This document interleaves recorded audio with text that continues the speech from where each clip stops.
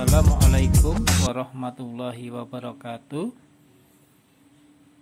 Halo anak-anak Mister akan melakukan pembahasan PAS IPA kelas 6 semester 1 tahun pelajaran 2020-2021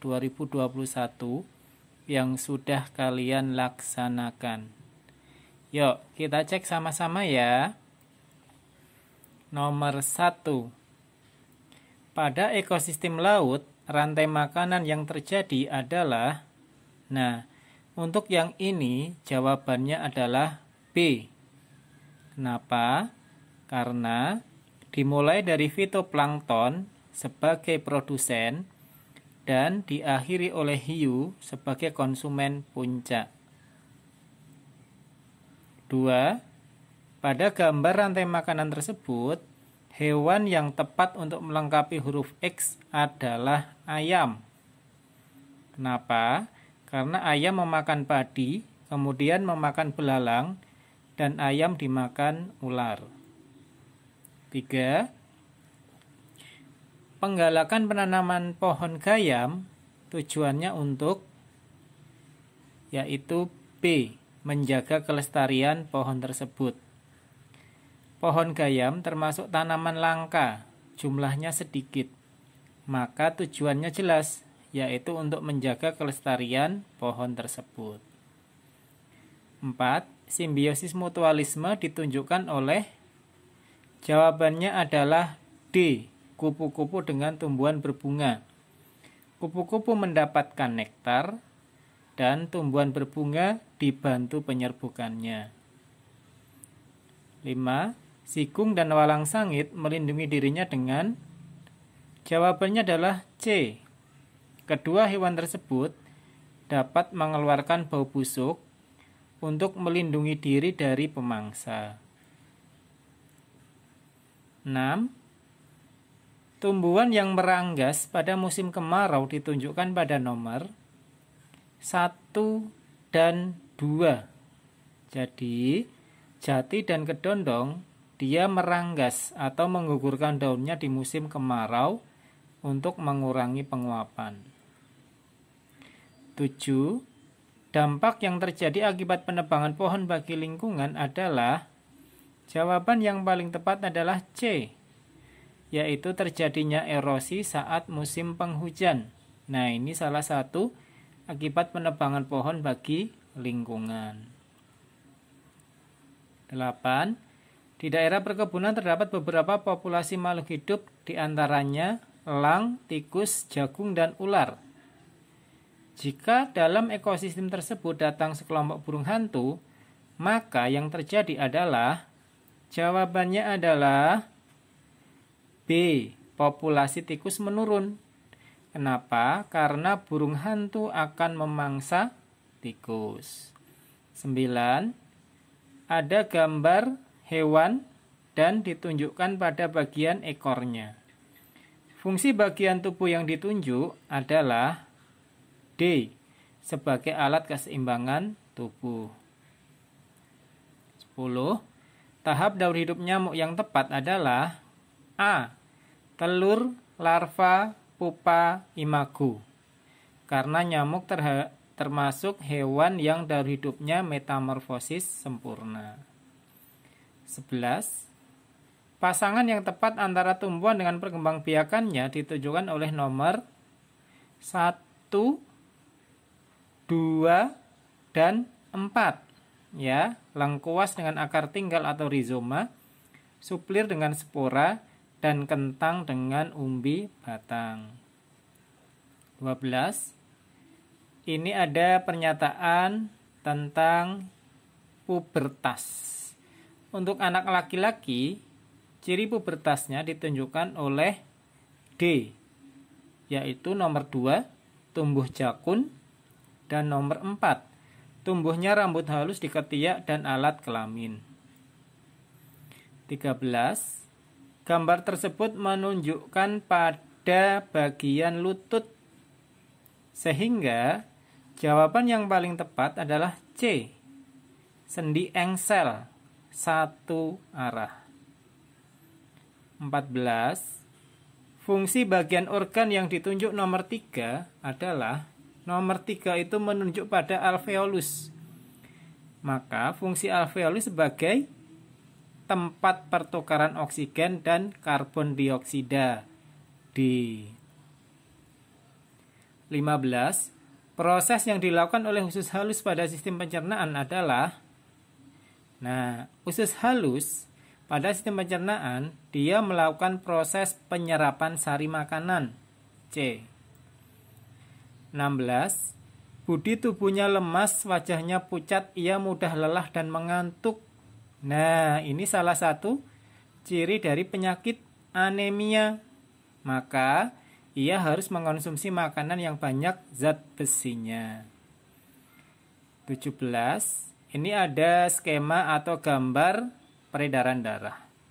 Urutan aliran darah yang banyak mengandung oksigen ditunjukkan oleh kalian harus melihat yang banyak mengandung oksigen itu setelah keluar dari paru-paru. Maka jawabannya C. 5, 10, 2, 4, 7, 6. Ya, jadi dimulai dari paru-paru, vena pulmonalis, serambi kiri, bilik kiri, arteri atau nadi, dan ke seluruh tubuh. 18. Upaya yang dapat dilakukan untuk memelihara kesehatan tulang adalah ini jawabannya B. Makan makanan yang berkalsium. 19. Ini ada model alat pernafasan manusia. Jika membran ditarik, maka yang terjadi adalah volumenya membesar sehingga tekanan udara mengecil, udara dari luar tabung kaca masuk, dan kedua balon pun mengembang. 20. Pasangan yang tepat antara benda dan sifatnya adalah yang paling tepat A. Benda padat, bentuknya tetap, walaupun wadahnya berubah. 21 Kegiatan manusia yang berkaitan dengan pemanfaatan perubahan wujud menguap adalah C. Menjemur pakaian di siang hari. Ini salah satu pemanfaatan perubahan wujud menguap. 22. Siva berolahraga pagi. Ia melihat ada butiran-butiran air yang menempel di rumput. Nah, udara pagi itu terasa dingin, padahal tadi malam tidak turun hujan. Perubahan wujud yang terjadi adalah mengembun, di mana ada perubahan wujud dari gas menjadi cair. Ya, karena suhu yang rendah. 23. Ini ada gambar rel kereta api yang pemasangannya ada celahnya. Kenapa ada celahnya? Nah, ini dimaksudkan untuk mencegah rel melengkung pada saat pemawaian di siang hari. Ingat ya, rel merupakan konduktor panas. 24. Ini ada gambar tentang percobaan melelehkan lilin. Dari hasil percobaan tersebut, benda yang menjadi konduktor paling baik adalah jawabannya adalah D, kuningan. Kenapa?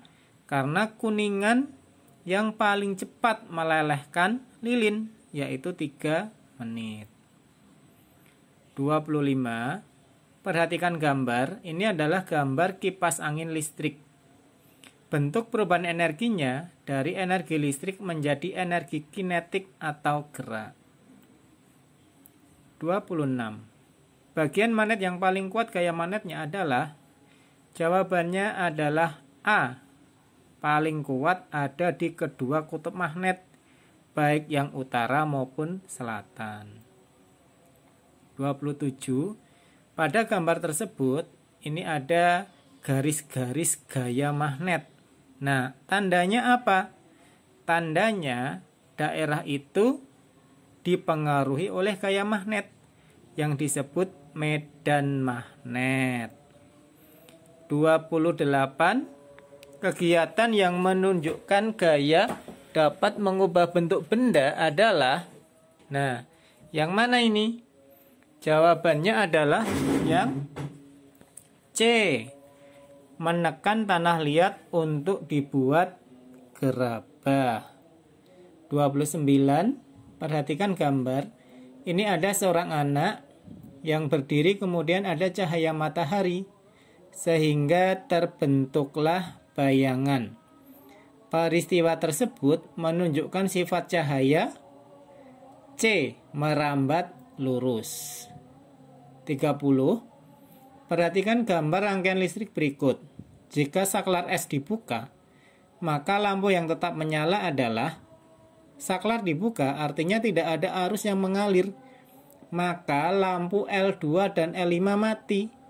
Sedangkan lampu yang tetap menyala adalah lampu L1, L3 dan L4. 31. Energi alternatif biogas adalah energi alternatif yang diperoleh dengan cara menampung dan mengolah kotoran sapi sehingga mengeluarkan gas yang dapat dipakai untuk mengatasi kelangkaan gas LPG. 32. Gambar di atas merupakan pembuatan magnet dengan Nah, pada gambar tersebut tampak bahwa magnetnya digosokkan pada logam yang akan dijadikan magnet maka pembuatan magnet tersebut dengan gosokan. 33. Magnet dapat hilang gaya magnetnya salah satunya karena dipukul-pukul. Kenapa? Karena susunan magnet elementer yang di dalamnya ya yang di dalam magnet pada awalnya kan teratur. Karena dipukul-pukul menjadi tidak teratur lagi. 34. Pusat tata surya adalah Nah, yang namanya tata surya itu suatu susunan benda langit yang mengelilingi matahari. Maka yang menjadi pusat adalah B, matahari. 35. Ini ada ciri planet. Yang pertama disebut sebagai planet merah. Yang kedua memiliki satelit Phobos dan Deimos. Ciri tersebut dimiliki oleh planet D, Mars. Nah, itu tadi pembahasan untuk soal yang pilihan ganda. Sekarang kita lanjutkan ke uraian. 36. Jelaskan akibat kegiatan penebangan hutan bagi lingkungan. Jawabannya adalah penebangan hutan dapat berakibat hewan kehilangan tempat tinggal, tanah mudah longsor dan erosi saat hujan, dan juga mengakibatkan banjir. 37. Sebutkan tiga macam sendi dan berikan penjelasan bagaimana arah geraknya. Ini Mister sebutkan tujuh macam sendi ya. Nah, bisa dipilih tiga di antaranya. Yang pertama, sendi mati, tidak dapat digerakkan. Dua, sendi kaku, gerakannya terbatas. Tiga, sendi engsel, gerakannya satu arah. 4. Sendi pelana, dua arah. 5. Sendi geser, sendi yang dapat bergeser.